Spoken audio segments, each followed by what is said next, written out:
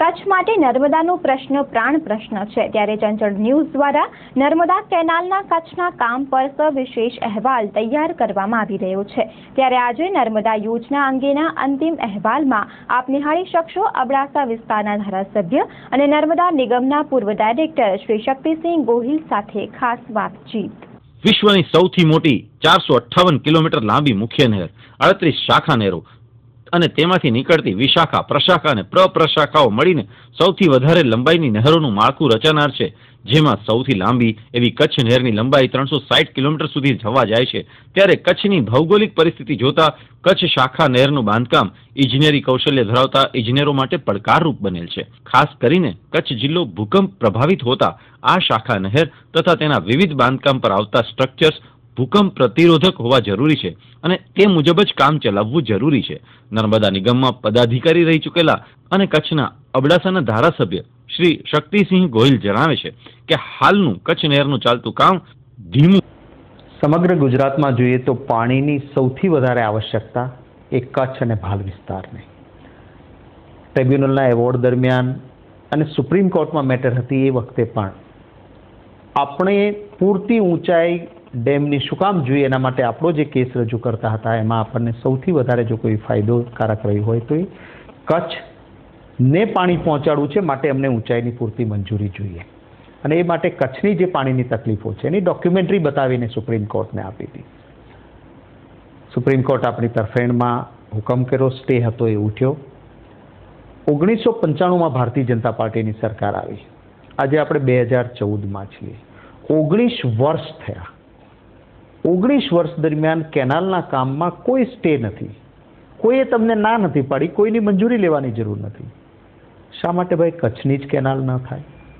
કચ્છને સૌથી વધારે નર્મદાના કામમાં અન્યાય થયો છે. નર્મદાના નામે રાજનીતિ ભૂતકાળમાં ક્યારેય કોઈ નહોતું કરતું.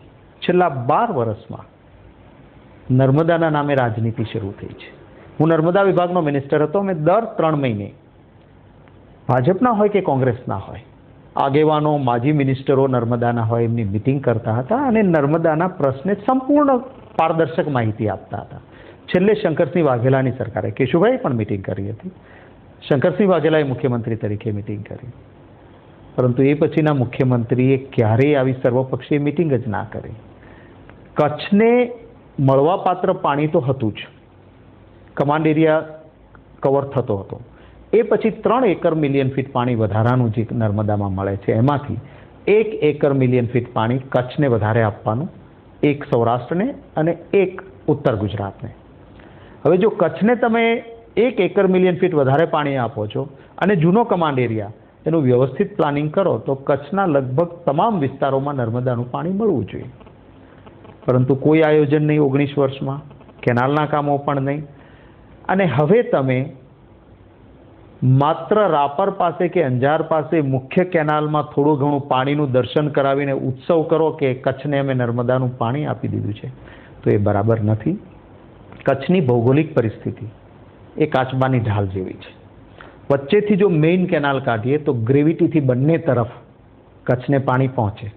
અને નહીં તો બે ભાગમાં કેનાલ કાઢવી જોઈએ કે છેક લખપત અને અબડાસાને નર્મદાનું પાણી મળે અને આ તરફ તમે ગાંધીધામ, અંજાર એ વિસ્તાર સંપૂર્ણ કવર થઈ શકે. એ પ્રમાણે વ્યવસ્થા કરવી જોઈએ. માનીતા ઉદ્યોગપતિઓને થોડું ઘણું પાણી પહોંચે અને કચ્છના ખેડૂતોને પાણી ન પહોંચે, તો એ નર્મદાનો ફાયદો એ સાચા અર્થમાં કચ્છના ખેડૂતો માટે નથી. એ લડાઈ છે, મેં વિધાનસભામાં પણ આ વખતે કહ્યું હતું અને કચ્છના આગેવાનોને, કચ્છના તમામ રાજકીય પક્ષના મિત્રોને પણ હું વિનંતી કરીશ કે કચ્છ માટે રાજકીય પક્ષાપક્ષી ભૂલીને પણ નર્મદાનું પાણી એ કચ્છનો અધિકાર છે અને આ અધિકાર મેળવવા માટે સરકાર કોઈ પણ હોય, અન્યાય થતો હોય ત્યારે એના સામે લાલ આંખ કરવી જોઈએ, લડવું જોઈએ. હું બિનરાજકીય સંગઠનોને પણ વિનંતી કરીશ કે કચ્છને નર્મદાના ક્ષેત્રે ન્યાય મળે, એના માટે એક લડત ઊભી થાય. મારી વાત સાચી છે કે ભારતીય જનતા પક્ષના મુખ્યમંત્રી કે મંત્રીઓ કે ધારાસભ્યો કરતા હોય એની વાત શું સાચી છે? એ જાણીને એનું તથ્ય લોકો સુધી લઈ જાય. એવા એક્સપર્ટ્સ લોકો, વિચારશીલ લોકો પણ એકત્રિત થાય. એવી જરૂર હું આ તકે અપીલ કરીશ અને વિનંતી પણ કરીશ. આપના જેવા મિત્રો જે કોઈ ડોક્યુમેન્ટરી બનાવે છે, એમને અભિનંદન પણ આપું છું કે આજે જે કેનાલોના કામ પણ થાય છે નર્મદાની કેનાલના કામોના જે ડિઝાઇન બની છે, હું એ વિભાગનો મંત્રી હતો, હું જાણું છું. પાંત્રીસ વર્ષ સુધી ગમે તેવો વરસાદ, પાણી, પ્રવાહ જે આવે, એક કાંકરી પણ કેનાલની ન ખરે, એ પ્રકારનું સ્ટ્રક્ચર બનાવવાની આપણી ડિઝાઇન છે. હવે અત્યારે તો કેનાલનું કામ એનું ઉદ્ઘાટન મુખ્યમંત્રી કરીને જાય ને એક અઠવાડિયું ન થાય, ત્યાં કેનાલમાં ગાબડા કેમ પડે છે? કારણ કે અહીં ભ્રષ્ટાચાર થાય છે. અને જો આવી કેનાલો હશે, તો કચ્છને તો પાણી નર્મદાનું ક્યારેય નહીં મળે. અને આ સંજોગોમાં કેનાલોના કામોમાં જે ભ્રષ્ટાચાર થાય છે, એ પણ અટકે એ જરૂરી છે. હાલે કચ્છ જિલ્લાના ઉંબરે પાણી પહોંચી ગયા છે. કામોનો ધમધમાટ ચાલી રહ્યો છે. સલીમગઢથી કચ્છ નહેરની કેનાલ સાયફન સુધી પાણી પહોંચ્યા છે. અને કેન્દ્ર સરકાર દ્વારા કચ્છની શાખા નહેરને અવરોધરૂપ હતી એ માટેની મંજૂરી પણ મળી ગઈ છે. ત્યારે આગામી સમયમાં કચ્છ જિલ્લામાં ખૂબ જ ઝડપથી નર્મદા કેનાલના કામોનો ધમધમાટ જોવા મળશે.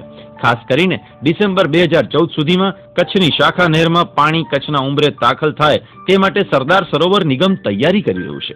તો આગામી ડિસેમ્બર બે હજાર સોળ સુધીમાં કચ્છ જિલ્લાની નર્મદા યોજના સંપૂર્ણ રીતે પૂર્ણ થાય તે માટે પણ ગુજરાત સરકાર અને નર્મદા નિગમના અધિકારીઓ, પદાધિકારીઓ પ્રયત્ન કરી રહ્યા છે. અત્યારે હકીકત તો એ જ છે કે ખૂબ જ લાંબા સમયથી નર્મદાના પાણીની રાહ જોતી કચ્છની તૃષા તૂર પ્રજાને હવે નર્મદાના પાણી કચ્છની ધરતી પરથી વહી રહ્યા હોય તેવો આભાસ થઈ રહ્યો છે. યોજનામાં વિલંબ થયો છે, પણ આખરે તે સાકાર થવા પણ જઈ રહી છે, તે હકીકત છે.